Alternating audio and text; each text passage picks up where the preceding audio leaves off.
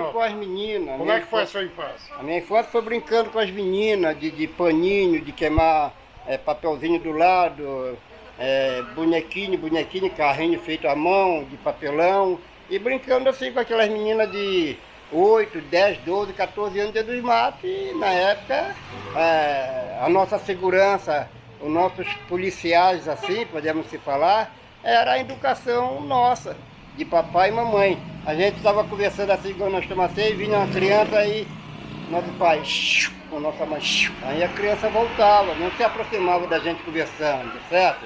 E alguns, com piscar de olho, piscava o olho e olhava para a gente, saía, não se aproximava assim da nossa conversa. Tu estudou? Não, não estudei porque nós não tivemos tempo de estudar.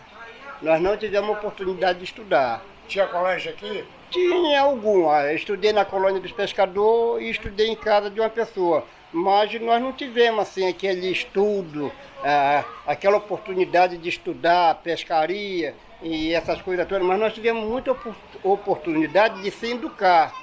Nós se educamos muito, muito bem. Até os vizinhos ajudavam nossos pais, nossos avós, nossas avós a se educar uns aos outros. Então nós tivemos sim a oportunidade de se educar, de estudar não. Então a preocupação da nossa educação, que nós fomos educados, criados pelos nossos avós, é a preocupação da vida humana, das crianças. Eu não falo, eu não converso assim por mim, pelos adultos, não, eu converso pelas crianças.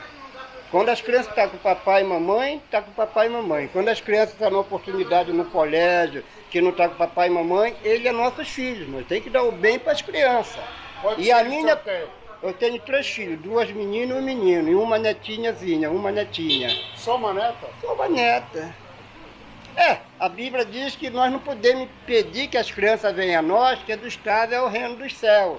Então, as crianças é a nossa alegria. Mas só tenho uma neta, podemos dizer que ela vale com umas dezinhas, porque é muito espertilha, conversadeira e muito bonitinha mesmo, digo pro senhor. Como é que era a pesca? A pesca muito, muito boa. Ali onde está o meu barco encalhado, ali na colônia dos pescadores, de frente à Assembleia de Deus, naquela praia, Que praia?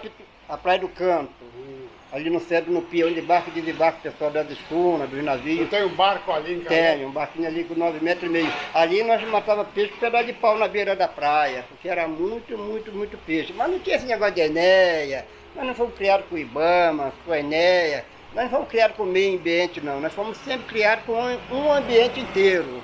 Fartura e bem sucedido para todos. Não era meio ambiente, era um ambiente inteiro. Era completo.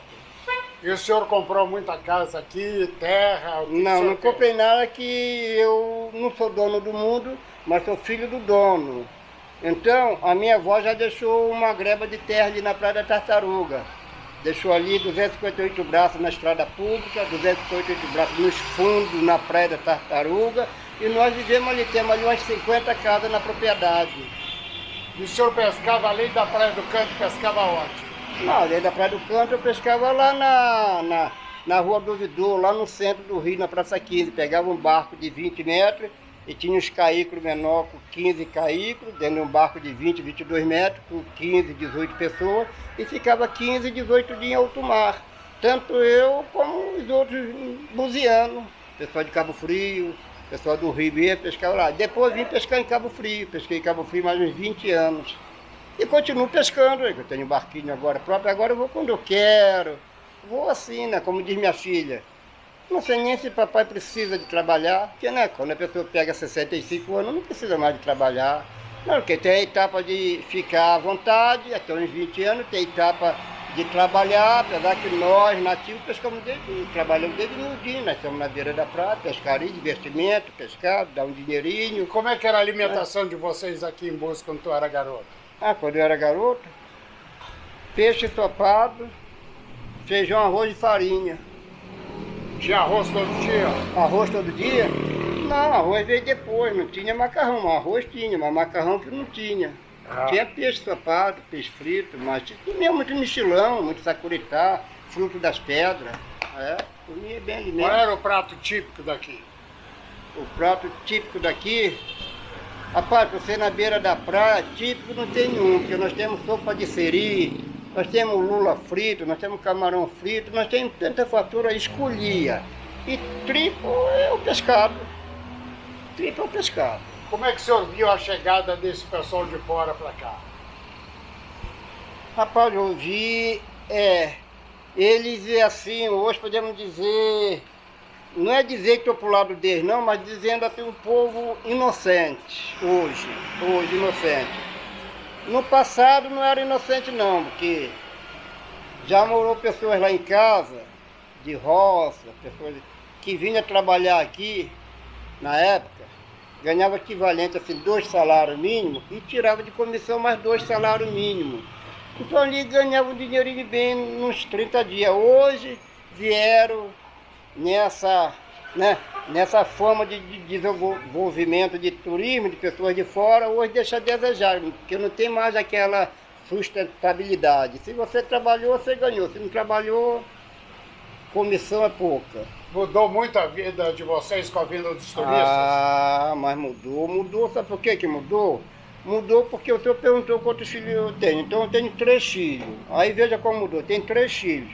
E nós, nativos buzianos, daqui da nossa cidade, da nossa origem, como diz os índios, da nossa tribo, nós era casal, assim, nós era dez casas de dez famílias de pescador. Dez casas, dez famílias de pescador.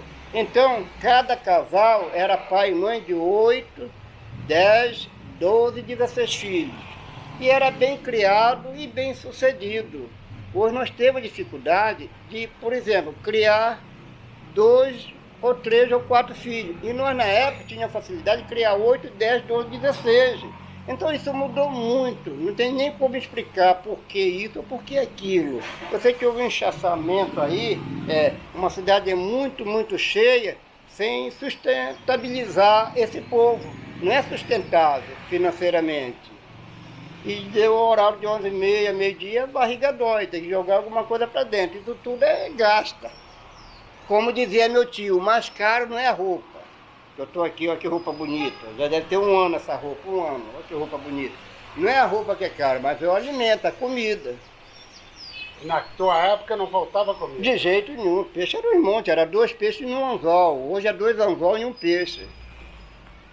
Uma vez eu conversando com uma pessoa assim, bem sucedida, jornalista, diz assim, ó oh, moço, hoje, resumo do assunto, hoje é sal pro peixe e peixe pro sal. Ele diz, como é que é, seu Loni?